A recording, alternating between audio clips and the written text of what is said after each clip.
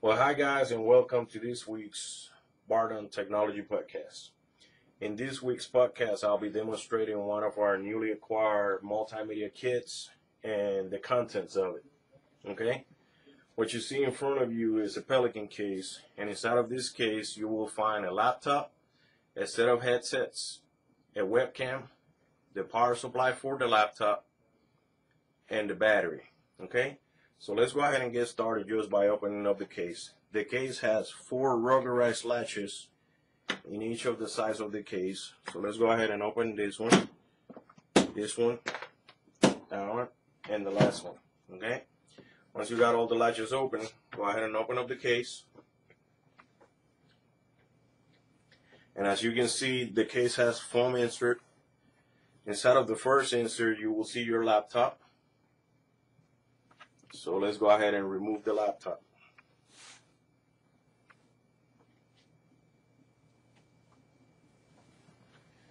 Once we got the laptop out of the way, what I want you to do is go ahead and remove this insert.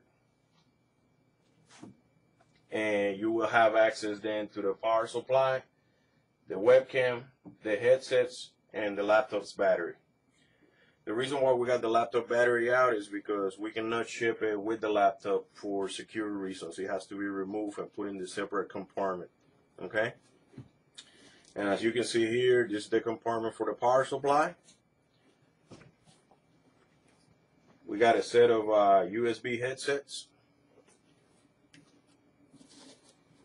And your USB webcam, as you can see here. Okay, this pretty much is what you're going to have in a standard multimedia kit. One of the things that we plan to add in the future is a wireless mouse, and I'll be making another separate insert somewhere in here for that. Well, and that's pretty much about it as far as the contents of the kit. Now let's put it back together and close the case. So the first thing you will have to do is put the insert back in it for the laptop.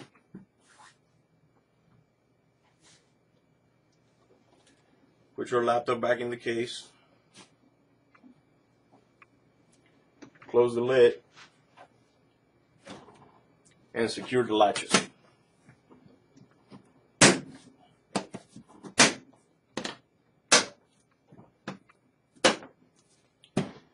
Well, here we are. Once you have it all locked up and secure, make sure you put that nice UPS label or FedEx and you ship it back to me. I have your video or whatever other multimedia content you created with it, and I'll be able to edit it and put it on our website or send it back to you.